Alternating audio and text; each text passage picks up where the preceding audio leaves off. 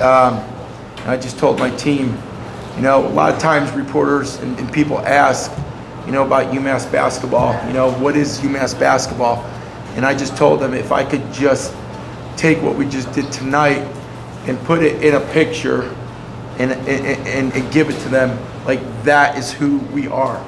You know, we're a team that comes in and, you know, we're gonna we're gonna work extremely hard uh, for 40 minutes, and uh, you know, I'm extremely proud of our effort here tonight.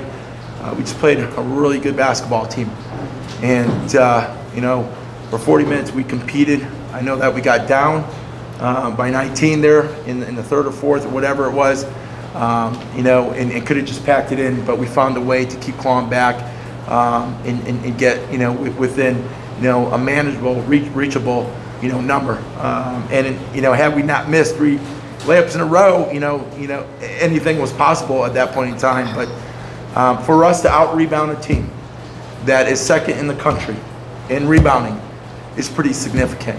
And rebounding is effort. Rebounding is a want to. It's a mindset. And uh, for what our players just did, I'm extremely proud of them. Um, really happy for them. Uh, I think that this type of game, there's a reason why I scheduled this game. You know, we, we talk about if we want to be the best, you got to go and play the best. You know, and I felt that coming down here, you know, into this environment and playing against a team with all these All-Americans, you know, will will pay off dividends down the road. And um, I hope that I'm, I'm right here in a couple months, but uh, extremely happy with our effort here today.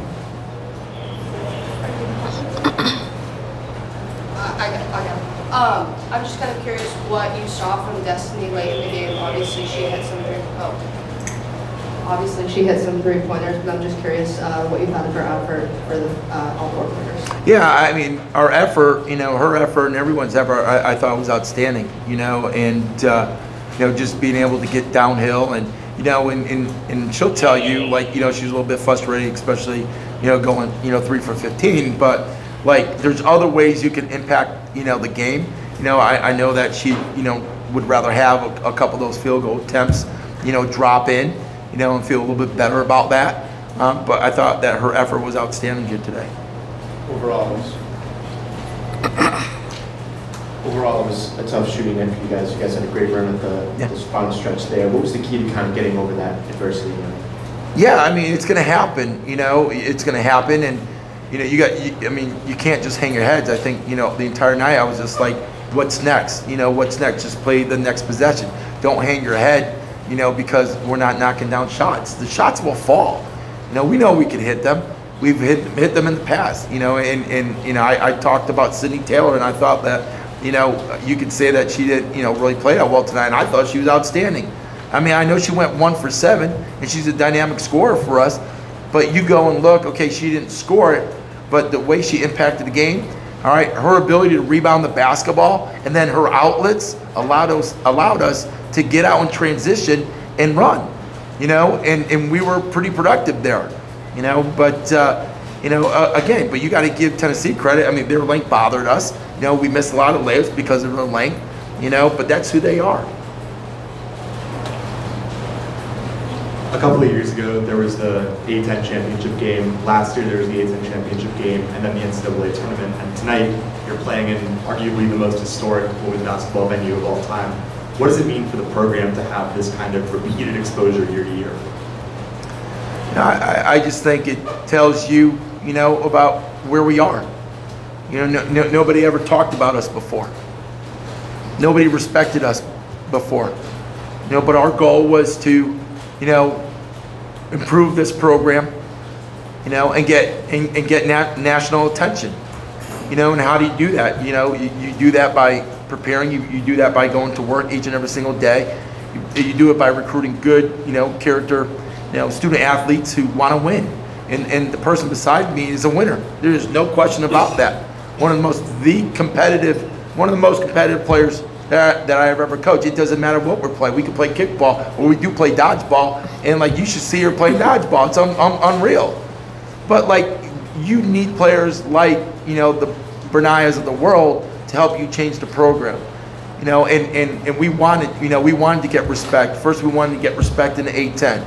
You know, and, and then secondly, once we did that, you know, now we wanted to hit the national scene, you know, and, and we wanted, you know, people to respect us nationally. And, and I thought that we came in today in a tough environment, playing against an, an, an unbelievable team. You know, and, and, and, I, and I thought we played extremely well. Yeah.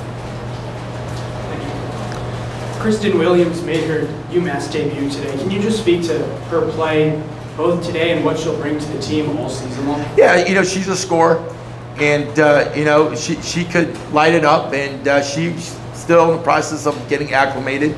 You know, and again, it, it was just good to get her out on the floor today.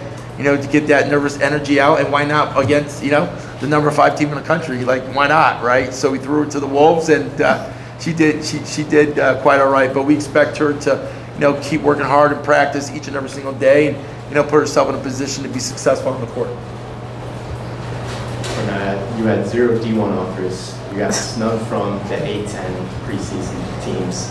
How does it feel to come to Tennessee, play at the level you did, and just kind of prove people wrong time and time again? Um, it honestly feels good just to know, like, no matter if I was on the team or not, like, the work that I'm putting in is, is constantly showing whether they believe in me or not. Like, I know the work I put in and I trust the work I put in each and every day. So, regardless of who believes believes in me, I believe in myself and I trust the work that I put in.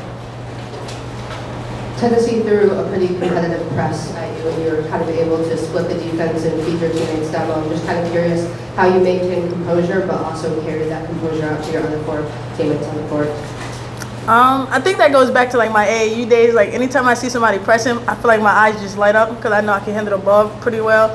So the minute I seen that, I kind of just knew like I could break the press easily and then look up the floor and find teammates.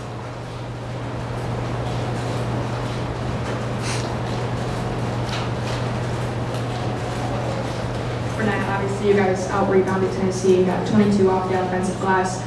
Was that a big focus for you guys coming into this game? And you know, how happy were you with that effort to get again 22 on the offensive end? Um, most definitely, just knowing like the last two games we got out rebounded, so it was a main point in practice, and I feel like that's where it starts at in practice. So we really focused in on boxing out, and we had to tell ourselves like we, if we want to win, like we had to rebound. So I feel like we came together as a group and told each other like if we don't do nothing, we're going to rebound, and just so he can calm down some, and he can get off our back, and just uh, give us another opportunity to win the game.